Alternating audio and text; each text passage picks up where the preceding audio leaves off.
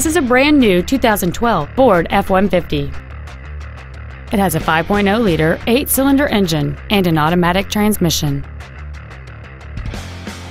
All of the following features are included. A double wishbone independent front suspension, a low tire pressure indicator, traction control and stability control systems, automatic locking wheel hubs, an engine immobilizer theft deterrent system, 12 volt power outlets, an anti lock braking system, rear curtain airbags, full power accessories, and an adjustable steering wheel.